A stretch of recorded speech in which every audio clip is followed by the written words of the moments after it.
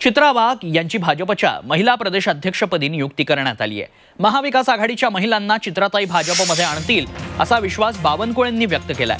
चित्रा वाघ सोमवारपासून राज्याचा दौरा करणार आहेत. चित्रा वाघ भाजपच्या महिला प्रदेशाध्यक्षपदी नियुक्त झाल्यात.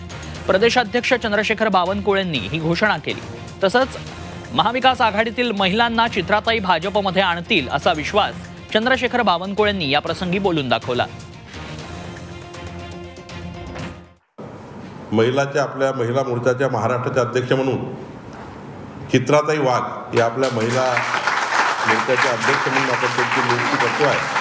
महाविकास आघाडीच्या जे नेते आहेत आणि महाविकास आघाडीमधल्या ज्या आता महिला काम करतात आहे त्या महिलांमधल्या प्रचंड महिला त्या ठिकाणी आपल्या पक्षामध्ये प्रवेश करून महाविकास आघाडी महाविकास आघाडीमधले जे तीन पक्ष आहेत काँग्रेस राष्ट्रवादी काँग्रेस आणि उद्धव ठाकरे यांचा जो गट आहे या तीनही पक्षामध्ये उत्कृष्टपणे काम करणाऱ्या चांगल्या महिलांना मोठ्या प्रमाणावर पक्षप्रवेश चित्राताईच्या माध्यमातून मिळेल. सोमवारपासनं दौरा चालू होईल. पहिला दौरा सात तारखेला. हा सिंदखेड राजा मा जिजाऊंच्या जन्मस्थानापासून सुरुवात होईल.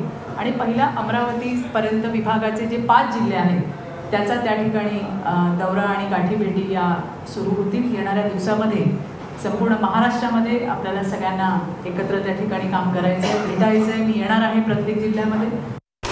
लाल मातीतली कुस्ती. म्हणजे